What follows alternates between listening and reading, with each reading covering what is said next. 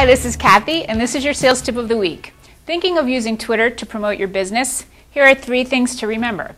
First, provide useful, compelling information. It could be in the form of business tips, event announcements, product updates, trend alerts, or links to articles, websites, etc. that would be of interest to your customers. Second, engage and respond. Create relationships by regularly replying to others' tweets, retweeting interesting tidbits you receive, and clarifying as necessary when miscommunications occur. Third, it's very important to stay positive.